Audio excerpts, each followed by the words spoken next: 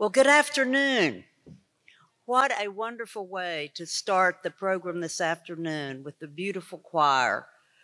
You know, this is the future of our country. And when you see these beautiful, bright young people and their beautiful voices, it really makes you understand why each and every one of us are here today doing the work that we do.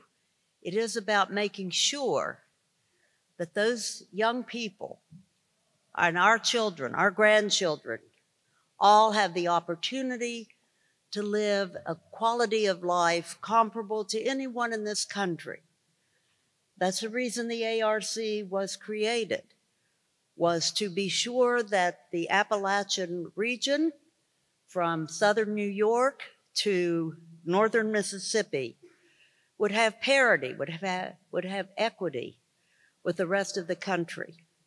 And so I'm here to say thank you to Congressman Hal Rogers, certainly to Executive Director Colby Hall, for the work that they're doing together through SOAR to create that equity and parity in Kentucky.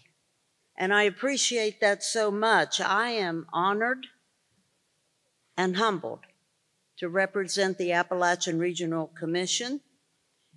And I'm also honored to be working with SOAR to have an exchange of ideas for collaboration to shape our Appalachian region to reach its full potential. SOAR has been a wonderful partner to work with ARC because we have this shared goal. We understand that we can do so much more together than any of us can do individually. We know that as recipients, SOAR has certainly been recipients of past ARC power grants. These grants that help fund our economic diversification projects in the Appalachian region for our most coal impacted communities. And I'm so pleased to be able to announce here today at the SOAR Summit that ARC is once again providing a grant to SOAR as they continue to drive transformational growth in Kentucky.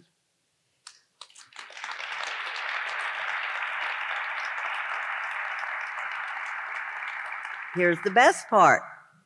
$500,000 is being awarded to SOAR for their recruiting individuals in industry for Digital Employment, which is a remote worker recruitment program. So,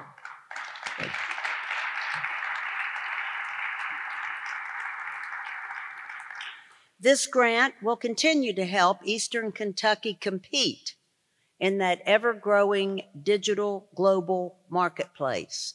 I had the distinct honor today of meeting so many students from schools around Eastern Kentucky. And their technology knowledge, their uh, digital knowledge, I believe children today are just born wired uh, in a totally different way. And it's wonderful. It's wonderful for us dinosaurs uh, that they can take care of us in the future. It's going to create new high paying jobs in Eastern Kentucky. It will slow depopulation and it will attract workers to the area who will contribute to Appalachia's economy while they are enjoying the beauty of our Appalachian mountains and our cultural heritage. Again, I just want to thank every member and contributor to SOAR for the work that you do. And we certainly hope that this grant will just help this organization to continue to be that catalyst to drive positive change throughout Eastern Kentucky. Since I was with you here last year, my first SOAR summit, I, am proud to announce to you that as we have seen the evidence that what you're doing is really working throughout this area. It's making a difference. in areas of regional tourism, infrastructure development, and substance use disorder. At ARC, we are keenly aware of the ways that substance use disorder impacts our community. It impacts every family. It, it impacts every workplace. And so um, it, it is all about that development and workforce problem that challenges our communities. And it affects the day to day quality of life for so many Appalachian families. And that's where Inspire comes in. Inspire is ARC's strong program that supports initiatives for individuals recovering from substance use disorder. But it's a continuing program. It's not just about rehabilitation. It's about rehabilitation to support services, to training, to a job, to supporting uh, an effort into a career so that an individual can safely become an asset in the community. It gives back hope and a sense of promise and purpose to people who thought that was gone forever. And so in September 2022, ARC awarded $12 million to 33 projects across 11 states for Inspire grants. And I was recently presented some data, evidence uh, of some very positive news.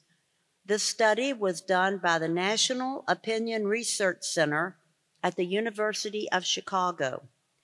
The study showed that drug overdose mortality rates are declining across eastern Kentucky. So the work that you're doing in your communities is having an impact. It's saving lives across the region. And so I want to say to you, thank you.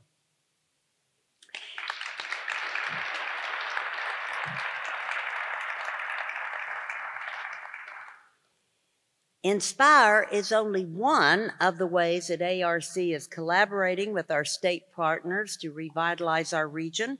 I mentioned our power grants earlier for coal impacted communities. And on Monday, we announced our largest power funding package to date.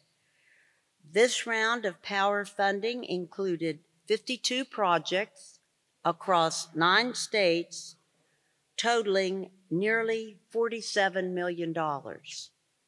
11 power grants were given right here in the state of Kentucky.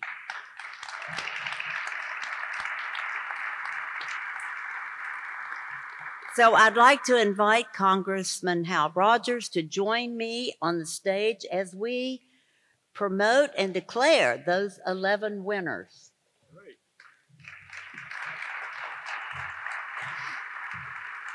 Great. Great. Thank you. So you'll do the first one there. Uh, the first one is to the Perry County Fiscal Court. $1.5 million toward their Rowdy Trailhead and Campground project. Yes.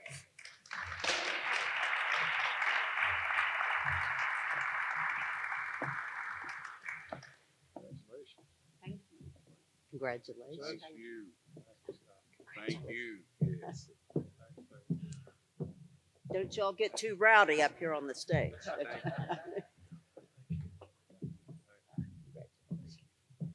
The second one is to Tech Center Incorporated, which will receive 1.5 million toward their Tech Center Skilled Trades and Training Program.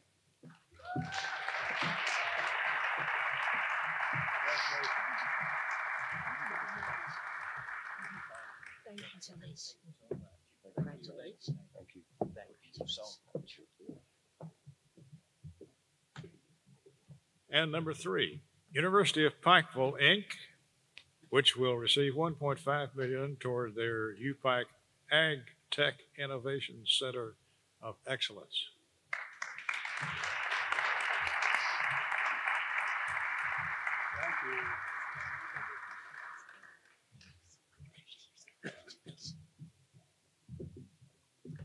The next is to the Kentucky Horticultural Council, which will receive one million four hundred and fifty-eight thousand two hundred and twelve dollars toward their growing Eastern Kentucky's controlled environment protection ecosystem.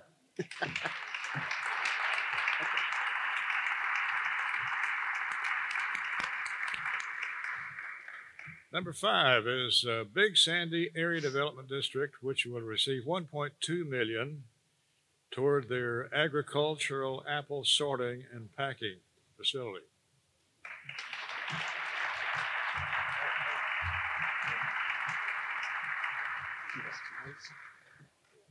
Thank you. Congratulations. And our next, Kentucky Community and Technical College System, which will receive one million one hundred thirty-seven thousand five hundred dollars toward their Preparing the Future of American Agriculture Ag Tech Apprenticeship.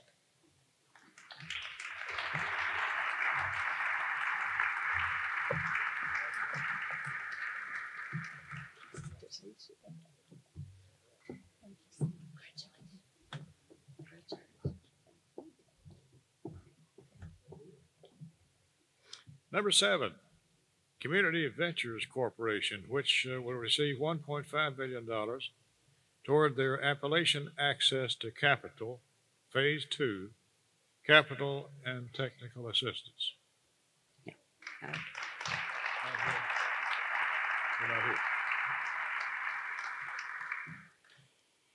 Mountain Association, which will receive fifty thousand toward their EKY Community Accelerator Project.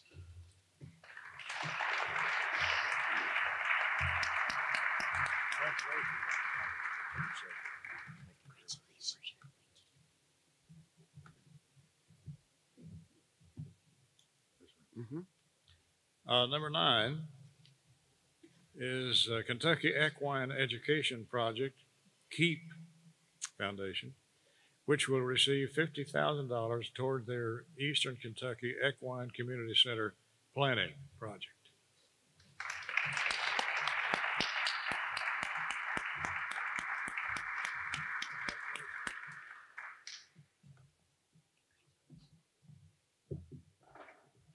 Number 10, the Foundation for Appalachian Kentucky, which will receive $48,422 toward their Southeast Kentucky Regional Experience Package Planning Project.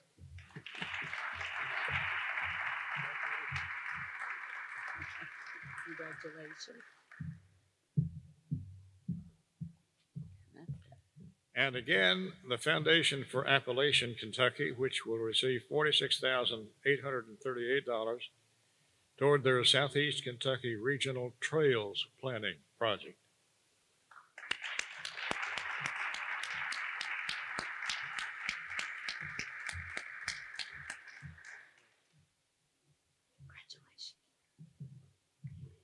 So again, a big congratulations to all of these grantees as they continue their work towards their southeast, uh, toward eastern Kentucky's coal-impacted community revitalization and uh, ecosystem economic development. We appreciate the work that will be ongoing, and we look forward to our continued work with them. Again, thank you, Congressman, for all of your efforts. Certainly, our funding comes from the federal level, from Congress. They have put great confidence in us when they give us this money, and we hope that we make them proud every day in the work that we're able to do across our Appalachian region. Certainly, it is always a joy and a pleasure to work with our partners here in Kentucky. And I look forward, as I said, again, to continuing our great work together. Thank you so much.